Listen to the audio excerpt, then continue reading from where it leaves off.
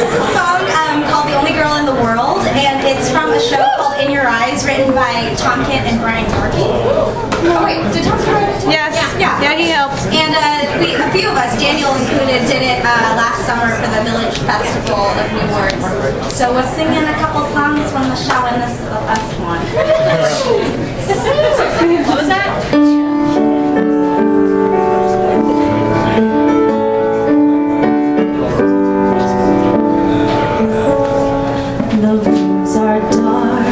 The halls are